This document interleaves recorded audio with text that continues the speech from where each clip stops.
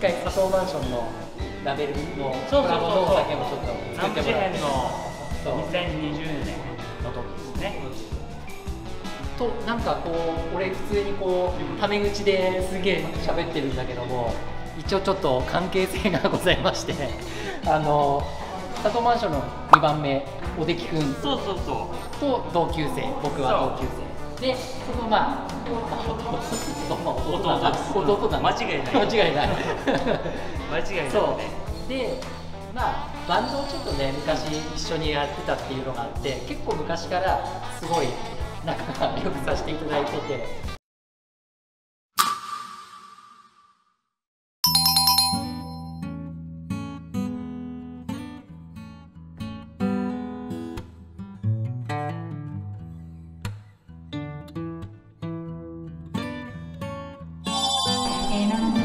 のお酒についてセミナーで学んでそしてさらにはいい音楽で癒されながら、えーたっぷりと今日は楽しい時間を皆さんと一緒に過ごしていきたいと思います。南部美人で営業課長をしている平野というものです。あのスペシャルセミナーとか言ってるんですけどあの全くセミナー的な感じでやるつもり全くございませんし10分しか持ち場がないという。なんともこの短い時間で今日は何のセミナーをしようかなと思って今日昼ぐらいからいろいろ悩んでおりましたけども今日持ってきているのはこの濁り酒と糖類無添加のゆずレモン酒です。で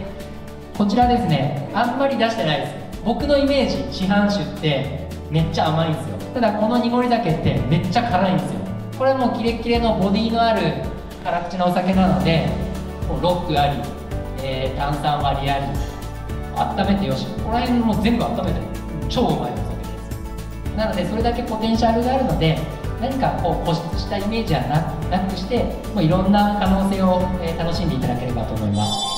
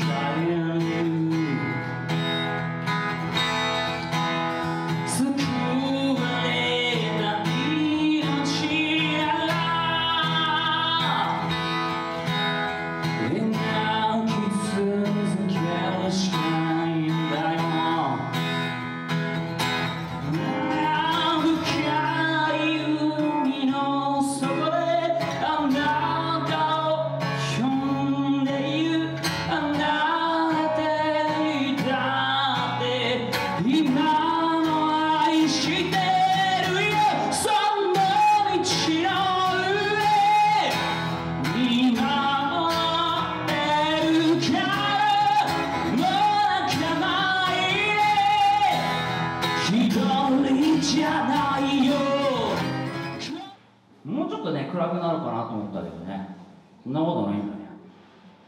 冬の歌なんですけど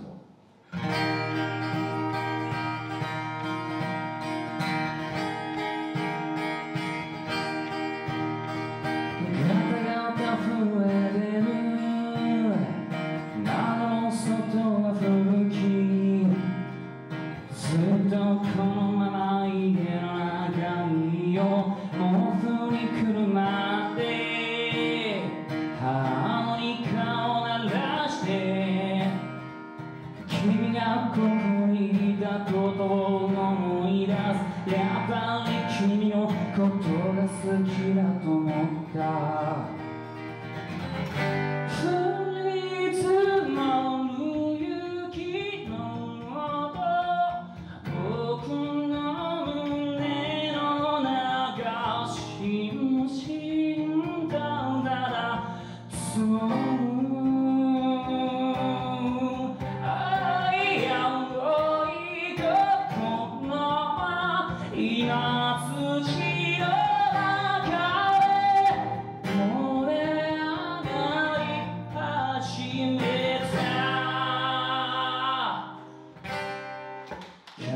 さん今月もねあの南部事変2022っていうねあの僕らのワンマン野外イベントに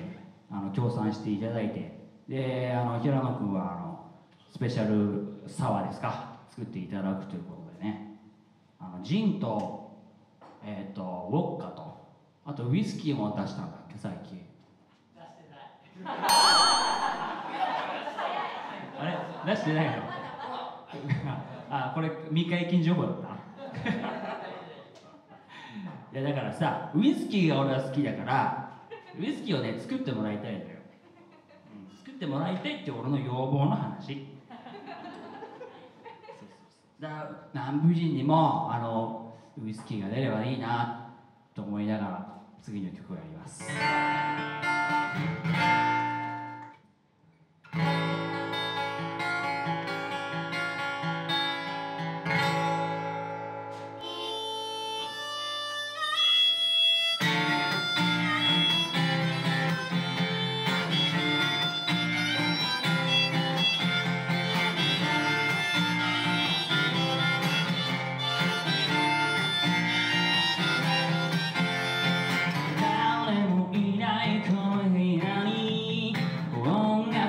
け響いてる天井をずっと睨んで今日の日が暮れたみたい真夜中に目が覚める。から昼間は飲まないようにしてるアイスは7つバルなど小さくで夢を